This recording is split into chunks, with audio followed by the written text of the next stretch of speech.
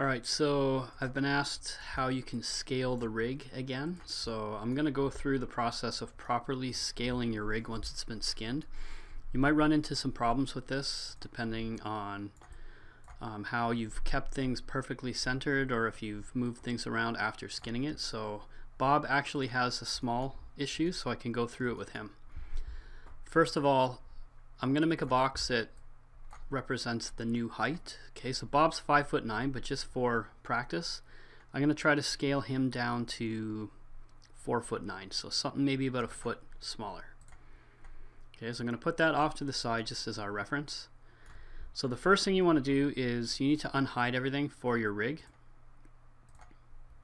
because we're going to need to select the bones. I'm going to take the hands and go into the motion panel, switch them back to FK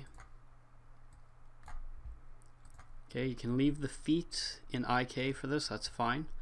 But we need to take the parts that are skinned. So Bob's head and his body are skinned in this one. So I'm going to take Bob's head, go to the modify panel, and the first thing you need to do before scaling anything is go into skin and under advanced parameters, okay, you'll have to scroll down or expand your view over. Under advanced parameters, turn off always deform and then turn off the skin modifier. And then I'm going to go to the body do the same thing go to skin turn off always deform and watch what happens when I do this. His body the mesh pops back. Okay so I've moved the rig at some point when I saved this and it's an easy fix. I'll show you how to fix it.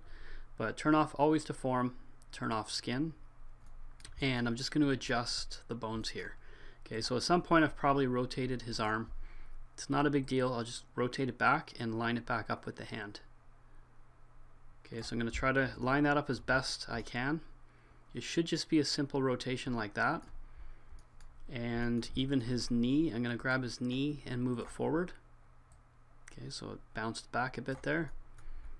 Okay, so that was the only thing with Bob. Uh, if your character has more extreme things that you have to move over, it might be a little more difficult to do this.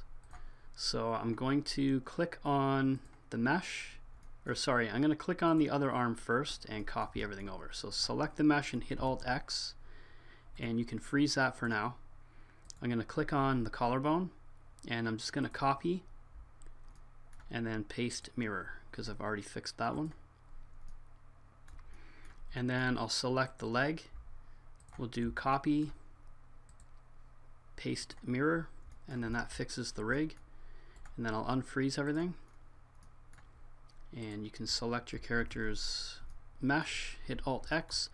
So I'll go to the head first and before you turn on skin go into the skin modifier and we're gonna turn on always deform.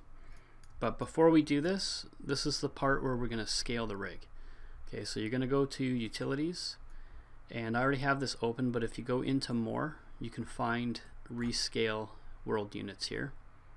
So you would click that, it'll open it here. You can click rescale and then you can uh, pop this down to whatever you want. So normally it's at 1, I've already got this set to 0.8. If I click OK, it scales everything down including that box. So I'm going to have to recreate the box.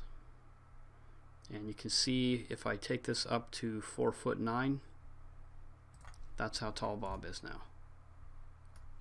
Okay, so that worked fine. Now you have to turn your skin back on. So you can go into the mesh, go into skin, turn on always deform first, and then turn skin back on, and do the same thing for the body. So go into skin, turn always deform on, then turn skin back on, and then go in and just add an animation layer test the rig, make sure everything works properly. Okay, so there's no problem here. Now I could save this file now that this rig is rescaled and I should be able to merge him in with another copy. So I'll just test it real quick. We'll go save as. I'm going to make this one Bob scaled. Okay, so I've popped open the Becky file. I'm just going to merge Bob into here so I don't get any errors. Uh, I'm trying to merge him into the same file with the same rig. So I'm going to go up to File, Import Merge, and I'll find Bob Scaled. Click Open, All, OK. Okay, so I'm going to delete these spotlights and stuff, and I'm going to auto rename everything else. Okay, so there's Bob Scaled. He's got his walk cycle on, and I could go ahead and start animating from here.